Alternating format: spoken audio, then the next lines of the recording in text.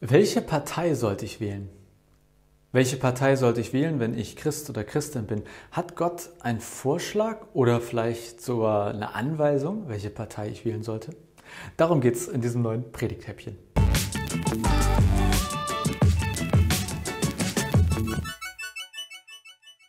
Moin, herzlich willkommen zu einem neuen Predigthäppchen. Keine Ahnung, ob, wenn du das Video gerade siehst, für dich das ein Thema ist, ob eine Wahl ansteht oder dergleichen oder ob du dich mal so allgemein informieren wolltest. Aber vielleicht hast du dir die Frage ja schon mal gestellt. Wenn Christen oder Christen wählen, hat das was mit ihrem Glauben zu tun? Hat Gott vielleicht eine Idee oder einen Vorschlag, wen man wählen sollte oder wen man nicht wählen sollte? Oder hat er sogar weniger einen Vorschlag und mehr eine Anweisung? Wählen eigentlich alle Christen und Christen das Gleiche? Die kurze Antwort lautet, also auf die letzte Frage, nee, ganz sicher nicht. Und ich werde dir heute auch nicht empfehlen, welche Partei du wählen sollst, aber ich glaube trotzdem, dass es, wenn es um quasi den eigenen Glauben und Wahlen geht, ein paar wichtige Grundsätze gibt oder ein paar Dinge gibt, die zu beachten sind. Das erste ist, aus christlicher Sicht, aus biblischer Sicht, muss man wohl sagen, dass die Grundannahme ist sowas wie, also Gott regiert die Welt. Ja, er ist quasi ganz oben. Aber das bedeutet nicht, dass man als Christ oder Christin sagt, oh, dann gehe ich nicht mehr wählen und also Gott macht das schon, der Rest ist mir egal. Zum Beispiel gibt es im Neuen Testament eine Geschichte und da wird Jesus gefragt, hey, äh, sollen wir eigentlich quasi die Steuer zahlen, ja? Oder zahlt ihr die Steuer? Und dann holt Jesus eine Münze raus und sagt, hey, welches Bild seht ihr hier auf dieser Münze? Und auf der war das Gesicht eines äh, Kaisers quasi so, so, so, drauf gemacht. Und drauf gemacht ist ein sehr schönes, eine sehr schöne Beschreibung. Und er sagt, gebt dem Kaiser, was dem Kaiser gehört. Und ich finde das eine schöne Geschichte, weil aus meiner Sicht Jesus damit sagt, hey, auch ich, Jesus, der Sohn Gottes, ich respektiere und akzeptiere, dass es so etwas wie ein, also Staat in dem Sinne gab es damals nicht, aber dass es etwas gibt, wonach die Welt funktioniert, nach menschlichen Verwaltungs- und Organisationseinheiten. Deswegen verstehe ich das auf keinen Fall so, dass Jesus oder wir als Christen und Christen heute irgendwie nichts damit zu tun haben, wie gewählt wird, wie regiert wird, sondern wir bringen uns dort mit ein. Wohl wissend, dass eine Etage oben höher immer noch ein, ein Chef mehr sitzt.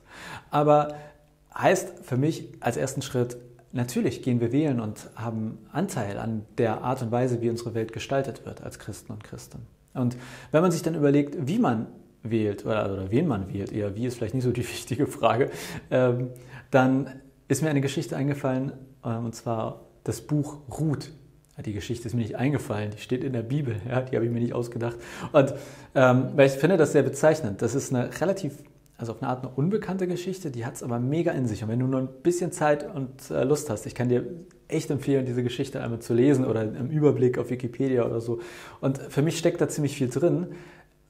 Beispielhaft, was Maßstäbe sind, wo man sagen könnte, an denen orientiere ich mich, wenn ich wählen gehe als Christ oder Christin.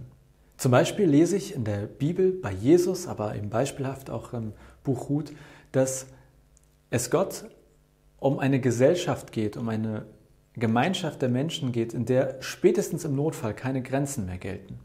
Also ja, irgendwie, es gibt Grenzen, es gibt verschiedene Staaten, es gibt Regeln, die gelten hier und die gelten dort.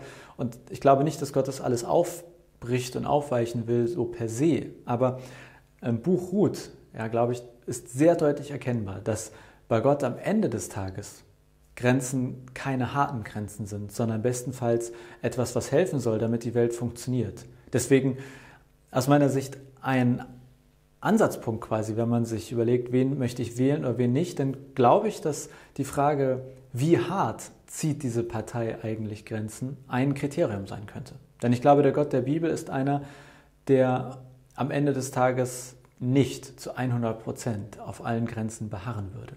Zweiter Punkt, auch aus dem Buch Ruth, aber ich finde auch bei Jesus sehr gut erkennbar ist, da geht es um das Miteinander. Und dass dieses Miteinander, also ein Mindestmaß an Menschlichkeit, an Barmherzigkeit, Verständlichkeit hat.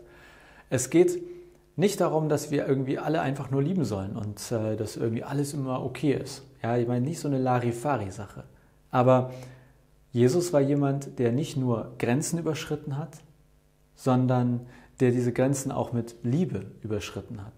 Deswegen, wenn du dich vielleicht fragst, wen kann ich wählen oder äh, wen sollte ich wählen oder was würde Gott dazu sagen, ich glaube, das ist auch ein sowas wie ein Marker, an dem man sich orientieren kann. Herrscht bei dieser Partei oder bei den Werten, die diese Partei vertritt, ein, ein gewisses Maß an Liebe zu den anderen Menschen. Und das Dritte, das mag ein bisschen überraschend kommen. Und ich weiß, dass auch viele Christen und Christinnen das gerade anders sehen. Aber ganz ehrlich, ich glaube, die haben das Buch Ruth nicht gelesen und die haben auch nicht den Stammbaum von Jesus gelesen. Ich glaube, dass es im Sinne von Jesus und im Sinne von Gott ist, eine große Offenheit für verschiedene Lebensformen zu haben. Und dass nicht eine bestimmte Form, irgendwie Mann und Frau und zwei Kinder, die von Gott geheiligte Form sind. Ja, ich glaube, dass es im Sinne von Jesus ist, wenn man eine gewisse Offenheit hat für eine bunte Palette an Lebensformen.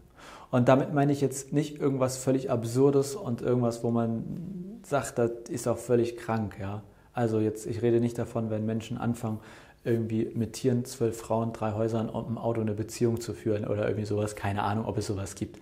Also ja, wir müssen das nicht irgendwie überziehen, dieses Argument. Aber ich lese im Buch Ruth und bei Jesus, dass er eine Offenheit hat für Lebensformen von Menschen und nicht aufgrund von Sexualität oder von der Art und Weise, wie Menschen ihr Leben gestalten, diese ausgrenzt. Ganz im, ganz im Gegenteil. Ich glaube, das sind wieder Grenzen, die Jesus überschreiten würde, die Gott überschreitet. Auch das, denke ich, ist ein Marker oder kann man sich anschauen, wenn, ihr, wenn man nach, sich überlegen möchte, hm, welche Partei könnte ich wählen oder nicht. Also Grenzen, Liebe, Offenheit. Das sind für mich Stichworte, wo ich sage, die lese ich in der Bibel, wenn es darum geht, wie Gesellschaft gestaltet werden soll. Und am Ende sind es Parteien, die ja auch ganz klar Gesellschaft mitgestalten. Am Ende sind wir das als Menschen, okay. Aber wir wählen Menschen, die, also andere Menschen, die für uns entscheiden, die Regeln aufstellen. Deswegen, ich glaube, es ist eine entscheidende Frage, welche Menschen stellen die Regeln für unser aller Zusammenleben auf? Und ich glaube, dass das auch eine durchaus, wenn man das so sagen kann, christliche Aufgabe ist, da mit dabei zu sein. Und bestenfalls möglichst viele der guten Ideen Gottes für unser aller Zusammenleben mit einzubringen. Und sei es so mit einzubringen, dass ich versuche so zu wählen, dass möglichst viele gute Ideen Gottes für unser aller Zusammenleben dann auch umgesetzt werden. Und dazu gehört aus meiner Sicht, dass Gott möchte, dass wir Grenzen überschreiten, und ich meine, das ist nicht im kriegerischen Sinne, dass wir offen sind für die, eine bunte Palette an Lebensformen und dass wir vor allem uns mit Liebe begegnen.